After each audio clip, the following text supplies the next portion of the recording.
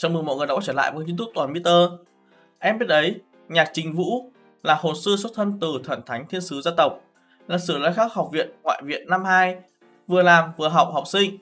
Ở Tinh nam Đế Quốc tham gia thi đấu đại tái, sau khi kết thúc trở thành sử lai khắc thất quái một trong. Ok, vào clip ngày hôm nay thì mình sẽ chia sẻ với em một số thông tin về nhạc trình Vũ này nhé.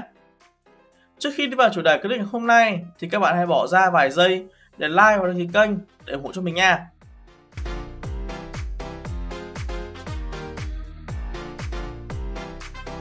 Đầu tiên sẽ là một số thông tin cơ bản. Tên là nhạc Chính Vũ, biệt danh thì là Chính Vũ, Chính Ca, Trịnh Vũ, Thiên sứ Vương Tử. Còn giới tính là nam, huyết mạch thì là thần thánh thiên sứ huyết mạch.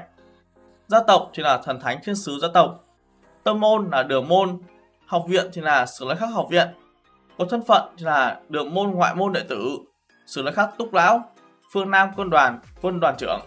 Có người yêu là hứa tiểu ngôn, võ hồn là thần thánh thiên sứ, phong hào là thiên sứ đấu la. Về kinh lịch nhân sinh, ở sử lai khắc học viện được xưng là thiên sứ vương tử. Trên người tập trung sở hữu những người bình thường có thể đạt được tới cao nhất hết thảy. Xuất thân hào môn, tự thân ưu tú, tướng mạo anh tuấn. Đấu la đại nục, đại gia tộc, thần thánh thiên sứ gia tộc, đại thiếu gia, cũng là người thừa kế. Cực có tinh thần trọng nghĩa, ở đầu năm 2 phía trước vẫn luôn tại gia tộc trong mật địa tu luyện. Lần đầu xuất hiện ở Sử Lai Khắc Thành quán đồ ăn, ngộ nhận Nguyên Ân Dạ Huy diện mạo lữ nhân là tà hồn sư, mà đối với cô ra tay. Sau khi trở thành vừa làm vừa học học viên, mà ở vừa làm vừa học lại lần nữa đối với Nguyên Ân Dạ Huy động thủ, mà bị ngoại viện viện trưởng Thái Não xử phạt. Sau lại phát hiện đường Vũ Lân có thiên phú rèn cực cao, cũng vì lợi dụng mà làm đường Vũ Lân ở học viện chủ yếu tài chính nơi xuất phát. Ở năm nhất đối với năm hai trong lúc thi đấu, cùng với Nguyễn Ân Dạ Huy cùng nhau sử dụng tổ hợp kỹ lại bị đánh bại. Ở Tinh Đan Đế Quốc tham gia thi đấu sau khi kết thúc trở thành đương nhiệm sử lai khắc thất quái.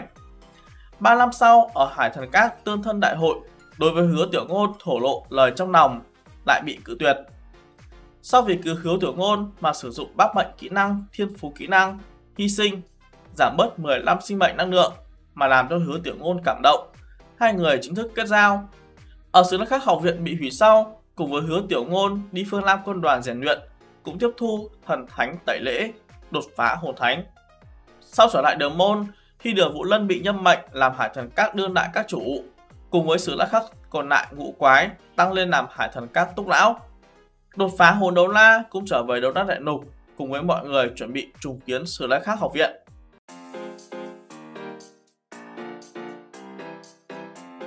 Ok, trên đây là một số thông tin về nhạc Trình Vũ trong tác phẩm Đấu La Đại Lục phần 3 Long Vương truyền thuyết mà mình biết. Em thấy mình nó thiếu điểm gì, theo thắc mắc điểm nào, hãy để lại xuống phần bình luận cho mình. Clip cũng là kết thúc. Đừng quên đăng ký kênh để theo dõi các thứ xe của mình.